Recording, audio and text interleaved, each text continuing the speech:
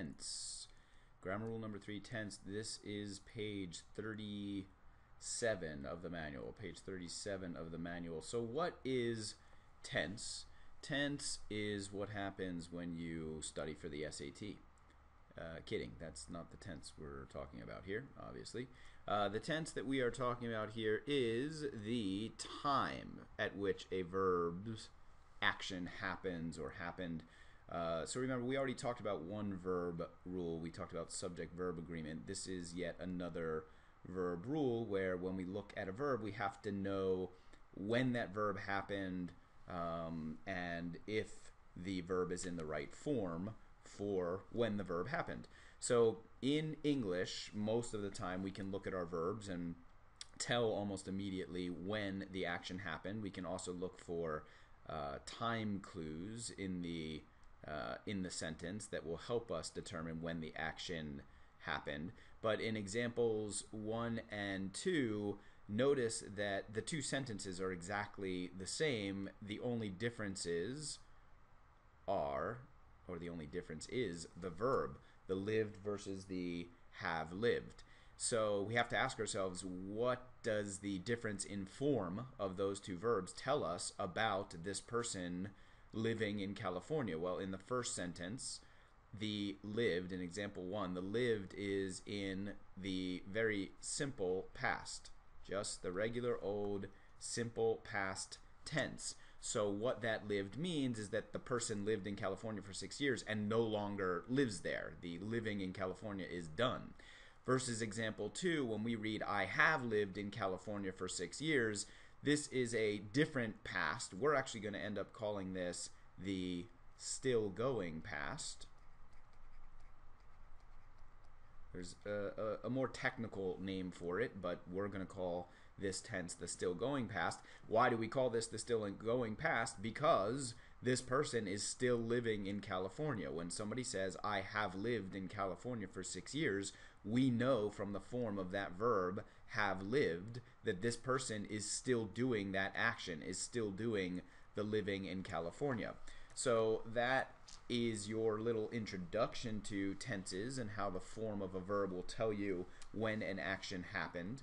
Uh, what about examples 3 and 4? I would go ahead and take a look at those right now and see what you can tell about the time at which these actions occurred based on the forms of the verbs.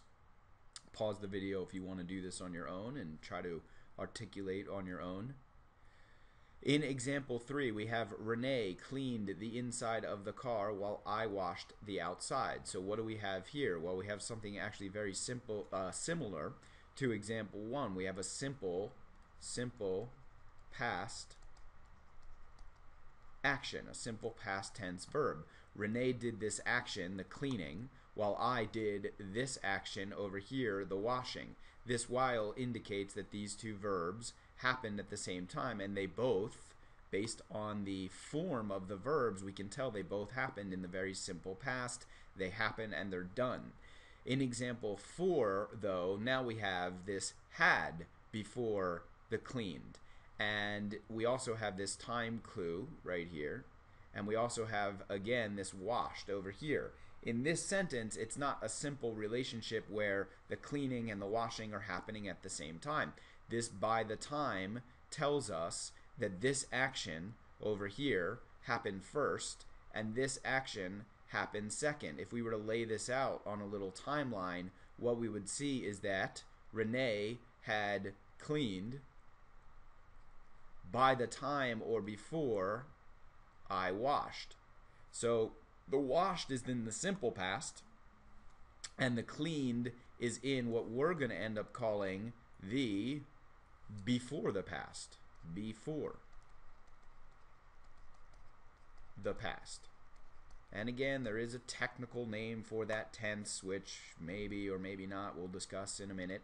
Um, but that's exactly what's going on here. We have two actions in the past the cleaning and the washing. One of them, the cleaning, is happening first, and the other, the washing, is happening second.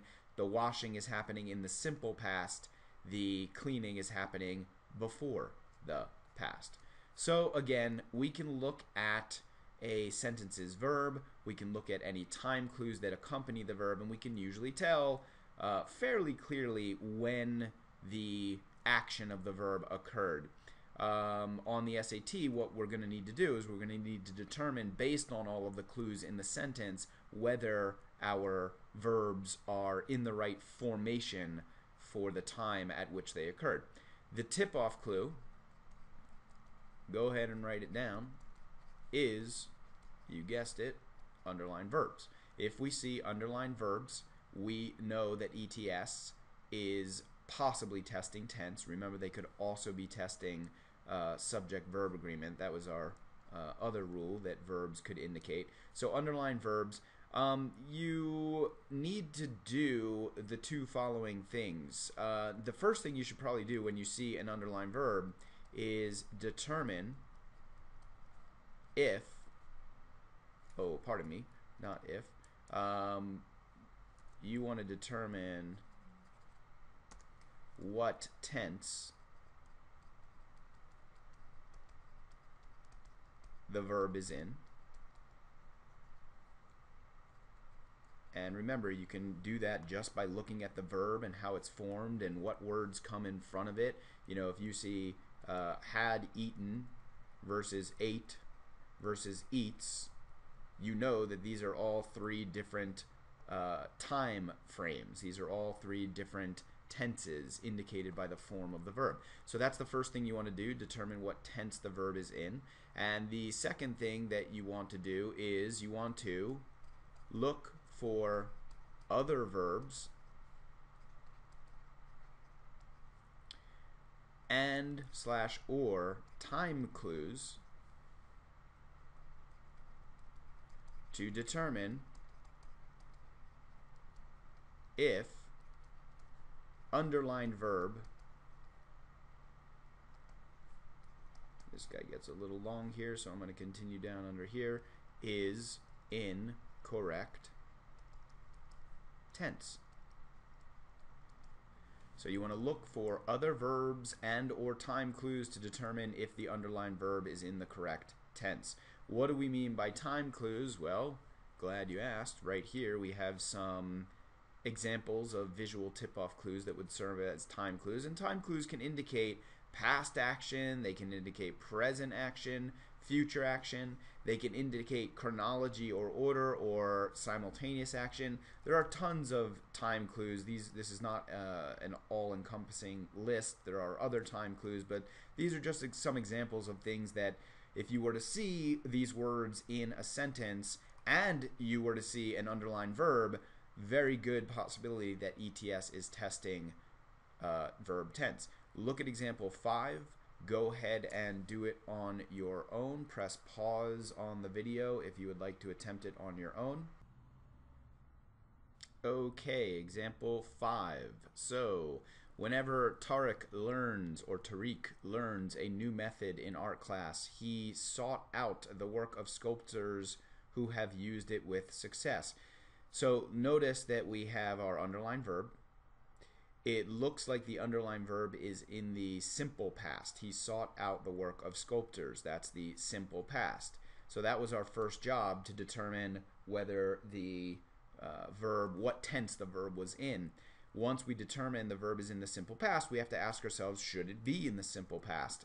So we looked for other, sometimes non-underlined, frequently non-underlined verbs, and time clues. And we actually have both in this sentence. We have a time clue and we have another uh, non-underlined verb. So this time clue, remember, whenever is like a, or is exactly a simultaneous action time clue. It tells us that two things are happening at the same time. Whenever Tariq learns something, he does something else at the same time. Well, learns is in the, uh, pardon me, the present tense.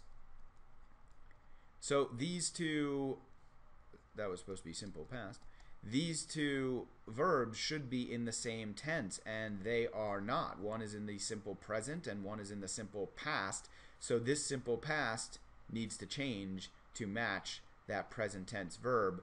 We should say whenever Tariq learns a new method in art class, he seeks out the work of sculptors who have used it with success. So again, what we had was a simple past tense verb, the sought out. We had a time clue and a present tense verb. The time clue indicated that our two actions should be happening at the same time. Therefore, this second verb sought out should match this first verb learns. Uh, we have to change this simple past tense verb to a present tense verb. Those are um, the the major things that you need to know about tense in general. Now on the next page, page 30, um, 38, we're going to go into some of the tenses in a little bit more detail.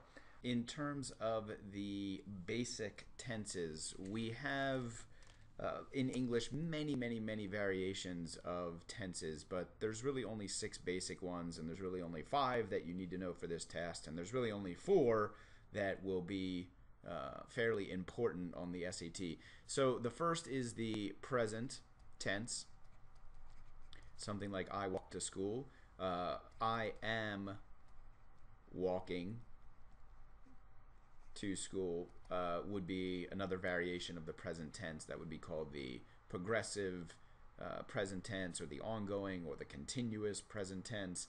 Uh, I walked to the gym, we're going to call that one the simple past tense. And I have walked with a limp ever since the accident. That one we're going to call the still going or unknown unknown past tense, still going or unknown past tense. The next one, which we also saw on the previous page, we're going to call the before the past. And the last one, that is just the simple future. Oh, that's not how you spell future. Do not spell future like that.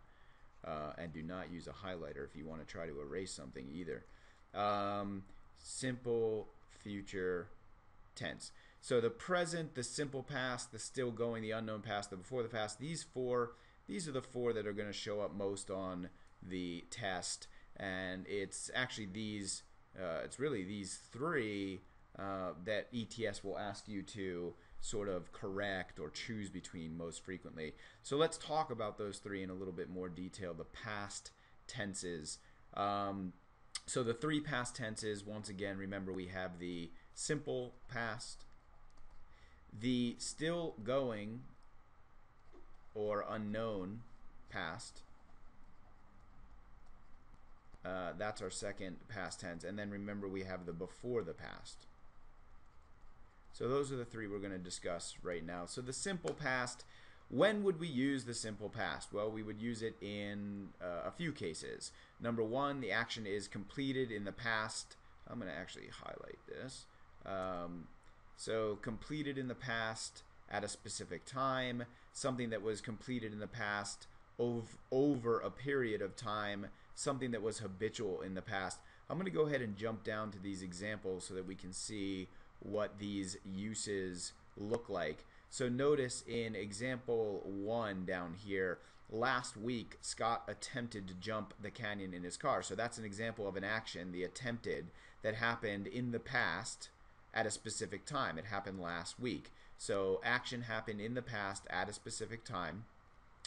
Number two, Sawyer lived in Brazil for three years. This was very similar to uh, one of the first questions we saw on the previous page, where the living happened in the past and is done.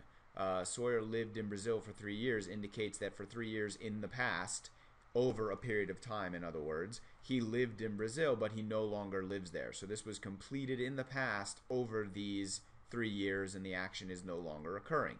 Example number three Haley played piano every morning before school. Again, indicates that in the past, but no longer, Haley habitually played the piano every morning.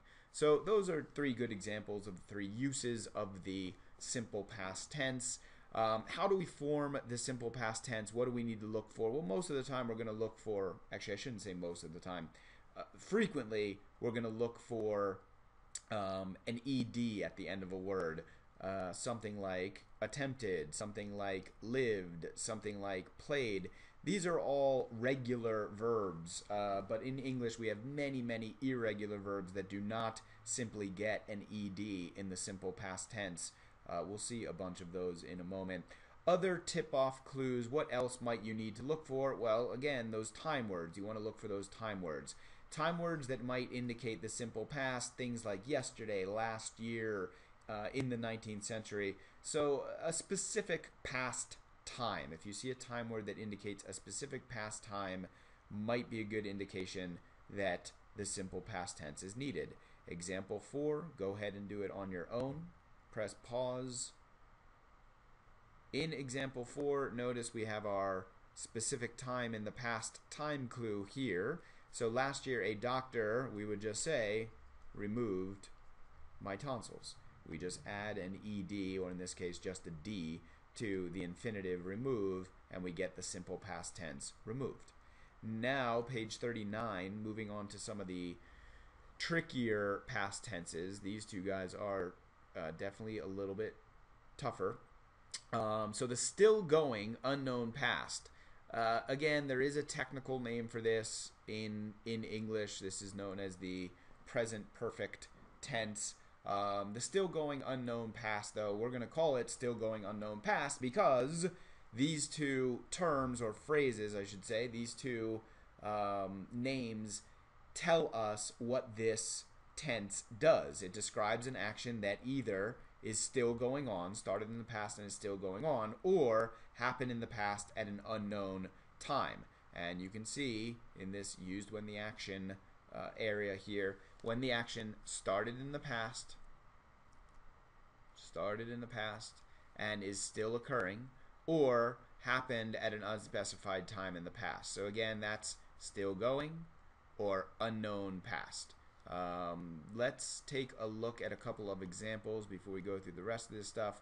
Down in numbers 5 and 6, ever since the fire at the library, Jeremy has studied at the cafeteria. So notice that we have this has studied is our verb, and we have this whole sort of time clue here ever since the fire at the library. So what does that indicate? It indicates that the fire in the library happened at some point in the past, and ever since then, Jeremy has been studying at the cafeteria. So we have something that happened in the past, the fire at the library, and then this action, the studying, has been happening ever since there. So if we lay this out on a timeline, basically what we have is we have the fire in the past. Here's the present where we are, and this action started when the fire happened and has been happening all the way up to the present. So this is a still going action. Then in example 6 we have we have eaten at the new restaurant downtown. Well notice there's no specific time clue in this sentence like yesterday uh, or last week. We just have this, we have eaten at the new restaurant downtown. This is an action that happened in the past at no specific time. So again, we use this form of the verb, have eaten, to indicate that the action happened in the past but at no specified time, no specific time. Um, if there was a yesterday at the beginning of this sentence, if this sentence had said something like yesterday, then we would say yesterday we ate at the new restaurant downtown because we have now been provided with a specific time in the past at which the action occurred. However, we don't have that yesterday. We have no specified time, which means we're using the still going or unknown past tense. So how do we form the still going or unknown past? We form it with these helper verbs. The two helper verbs are forms of uh, forms of the verb to have. And we're going to use the has or have depending upon the subject. Basically, if the subject is singular, we use has plus a past participle. We'll talk a little bit more about past participles in a second.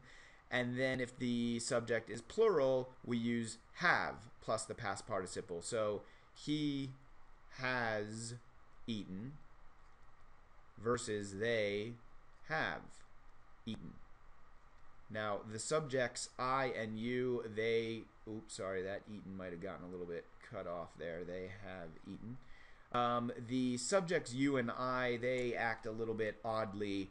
Um, you and I actually take uh, the have plus the past participle. I have eaten, you have eaten. Um, so be careful of that. Your other tip off clues are time words indicating that something started in the past and is still going. Very common ones are since and ever since, like we had in example 5. Or if we see a time clue that says that something happened in the past at no set time or over a long period of time, uh, for instance, over the last decade, uh, he has been to Europe several times. That must be nice for him um, over the last decade. So notice this is happening at no specified, no specific time in the past, but over a period of time in the past. We would use the uh, has or have plus the past participle to describe those actions. Example 7, go ahead and do it on your own right now. Press pause on the video and do it on your own. So in example 7, we have Riel blank, an ardent supporter of the mayor ever since she heard him speak at her school. So notice what that ever since does, what that time clue does. It tells us that here's an action, and ever since that action occurred, something else has been occurring up into the present. So if we're trying to form the still going tense using the infinitive be, we would use our form of to have. In this case, we use has because the subject is singular. And then we use the past participle of to be, which is been. So that is an example of the still going past. Now, the before the past, this is our other tricky past tense. This tense is used when something happened in the past before something else in the past. That's why we call this the before the past. See what we did there? Um, now, in terms of some examples, take a look at 8, 9, and 10 down here. Most of the delegates had left the room before Senator Wilkins spoke. So notice, here's the simple past tense verb. Here is a word indicating chronology, indicating that something comes before this simple past tense verb. And here, the had left is the action that happened before that simple past tense verb. If we lay this out on a timeline, we can see that in the simple past, Senator Wilkins spoke, and before that, all of these delegates, or most of these delegates, had left the room. So this is the simple past, this is the before the past. Makes sense. Then we have I did not have any cash because I had misplaced my wallet. So again, lay this out on a timeline. Here, I didn't have any cash, so that's no cash there. And then before that, the misplaced happened, um, and that's why in the simple past I did not have any cash. So simple past did not have any cash. Before that past, misplaced the wallet. Last but not least, number 10, I had finished the project by the time of his arrival. Well, notice here we do have this chronologizing time clue by the time. Uh, and then we have his arrival. We don't have, as we did in examples 8 and 9, we don't have another past tense action. Notice that in 8 and 9 we had the spoke and we had the did not have any cash. Those were other simple past tense actions. In example 10, we just have this arrival. So by the time of his arrival, we have to assume that that arrival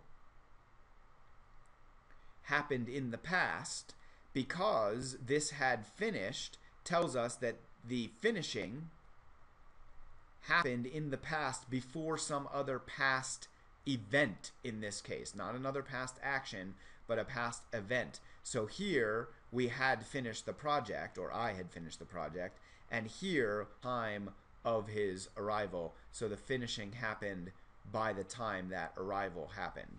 So those are three examples of uh, actions happening in the past before something else in the past before another. When we say something else, we mean another action slash verb or event. Uh, that would be the the something else uh, that the before the past verb happens before. How is the before the past formed? It is formed with another form of to have. In this case, had plus the past participle. You can see that in examples 8, 9, and 10. Had plus past participle of to leave. Had plus past participle of misplaced. Had plus past participle of finished. So we use the had plus the past participle to form the before the past tense. Other tip-off clues would be another past action or event, and then time words that indicate chronology or sequence. And again, you can see that in examples 8, 9, and 10. We have another past tense uh, action. We have a time word indicating sequence or chronology. Those are very good tip-off clues that one of our verbs is going to need to be in the before the past tense. Down at the bottom, number 11, pause the video and then go ahead and do it on your own. So in example 11, we have organizers asked Victor to be a judge in the baking contest, a request he found odd because he blank a single cookie. So we're using baked, and then we're using uh, the adverb never.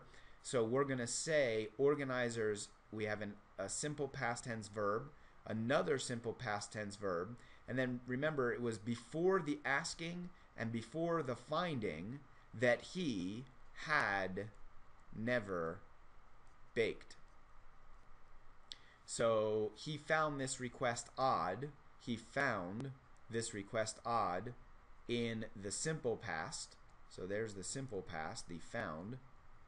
Why did he find the request odd? Because at some point before then, he had never baked a single cookie. So again, we would need the before the past tense here, and we form that with had plus the past participle. In this case, we're inserting an adverb never before the had and the past participle. That is the before the past. We are going to go ahead and do examples 1 through 8. I would pause the video and do these on your own. So in example 1, we have since James Marsden took the reins at State College in 1966, the, fo the football program there, blank, just five losing seasons. Notice what our choices are, first of all. This is the simple past. This is the still going slash unknown past. So now what we do is we look at our tip-off clues. We have another verb here took, which is in the simple past. And we have a since, which is a time clue indicating that something started when Marsden took the reins and is still going on, which means we need has endured, which is the still going tense.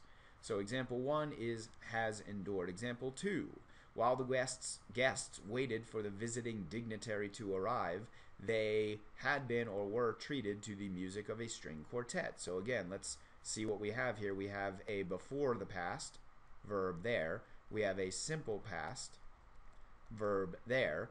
So in order to figure out which one we need, we look for, there's another uh, uh, verb, and there is a time clue. Remember that that time clue is a simultaneous action time clue. While means two actions are happening at the same time. This verb waited is in the simple past. So if we know that something is happening at the same time as this simple past verb, then our other verb needs to be in the simple past. While they waited, they were treated. So we need the simple past tense verb in example 2. Example 3, let's take a look at what we have. We have a still going slash unknown past tense and then we have the uh, simple past. Oops. So let's see what time clues or other verbs we have in the sense. We don't have any other verbs, but we do have this time clue. The time clue indicates that something happened at a specific time in the past. What tense do we use for specific times in the past? We use the simple past. So Sarah worked at Banana Republic last year. Then we have the same two tenses, still going or unknown past and simple past in example 4. But here we have a different time clue. Here we have ever since high school. And remember what ever since means. It means that something started in the past. When did it start? Well, it started in high school and is still going. Ever since means started in the past and is still going. We need the still going or unknown past tense here. So Sarah has worked at Banana Republic ever since high school. Example 5. By the age of 25, Tiger Woods won or had won all four major golf championships and was already considered one of the best players in history. So we have simple past and we have before the past. So which one do we need? Well, notice we have time clue here. We have by the age of 25. So this indicates that Tiger Woods turned 25 in the past, and at some point before then, before the past, he had won all four major golf championships and was already considered uh, one of the best players in history. So we need the before the past there. Example six. Before he injured his tendon at yesterday's practice, practice, Javier had taken or took only a few pitches. Let's figure out what we have. We have a before the past and we have a simple past. So let's look at our clues and see what we need. We have a simple past tense verb there. We have a chronologizing time clue telling us that something happened before this simple past. And what do we use? When we have an action that occurred in the past before some other past tense verb, we use the before the past tense. So before he injured, he had taken. Example 7, if Melissa knew or had known about the recent layoffs, she would have worked harder. So we have a simple past, and we have a before the past. Uh, let's look at our clues. We have would have worked harder. So let's lay this one out on a timeline. So let's say that here uh, she would have worked harder. So that looks would have worked. Oops, that was supposed to be worked. All right, that's getting messy. Hold on for a second. Let's get rid of that.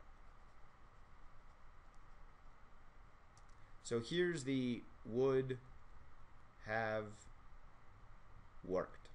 So that's in the simple past. Now remember, the sentence is saying that if she knew or had known before that point where she would have worked, so before the would have worked, we're looking at before the past here. If she had known before the would have worked, if she had known about the recent layoff, she would have worked harder later in the past. So the had known would come first in time in the past, and the would have worked would come second in time in the past. So we need something that occurs in the before the past here. Example 8. Hardly anyone attended the workshop that was or had been so painstakingly planned. We have, once again, a simple past, and we have a before the past. Well, remember that here's our other verb in the sentence. That is in the simple past. We have to ask ourselves when the workshop was or had been planned, the workshop had to have been planned before anyone attended the workshop. So because that attended is in the simple past and the planning took place before that simple past, we need the before the past here. Hardly anyone attended the workshop that had been in the before the past, so painstakingly planned. So there are your examples hopefully you didn't have too much trouble with them. If you did, come back and watch this again or try them again on your own or do a better job of looking for time clues or other verbs in the sentence. Um, tricky past participles. Let's talk about the past participle. So remember, the past participle is simply the form of the verb that follows has, have, or had. So whatever form of the verb you're putting in this blank, has eaten, have been, had wanted, has found, have learned, had, I don't know, whatever you want, studied. That's a good one. Studying's always good. Um, so whatever form of the verb you're putting in this blank, uh, that would be known as the past participle form of the verb. Sometimes what ETS does on the SAT is they are simply testing you on the correct form of the past participle. In other words, you might have the right tense, but you might have the wrong past participle. Uh, take a look at example 9. Pause the video, try it on your own. So in example 9, we have Derek and his sister, extremely close chil as children, have spoke on only a few occasions since he moved out of the country. So notice we have a since, we have a moved. The since indicates that something started in the past when he moved and is still going.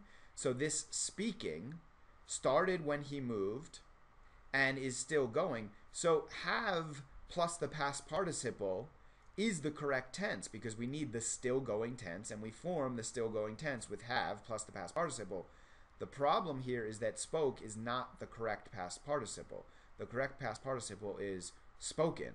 We do not say have spoke, we say have spoken. Spoke is the simple past form of the verb to speak. It is not the past participle of the verb to speak. So that's number nine. Uh, most past participles, generally students don't have too much trouble with them. However, there is a set of verbs that tend to be really sort of strange. So what we're going to do here, uh, and if you want to try these on your own, press pause, go ahead and fill in this uh, table, this chart right here. Um, we're going to ask ourselves, what's the simple past tense of each of these verbs? The simple past tense of begin, uh, we would say yesterday I, and actually I'm going to jot that down. Yesterday I, we would say yesterday I began. Uh, but what if we wanted to say I has, I has. If we wanted to say that, we'd be we'd be really messed up. Actually, um, sorry. Let me get rid of that. Uh, I have what would we put here? We would put, I have begun. With drink, we would say, yesterday I drank. We would say, I have, this one's sort of a weird one for some students, we would say, I have drunk uh, many glasses of water. Uh, yesterday I rang the bell. I have rung the bell. Uh, yesterday I ran.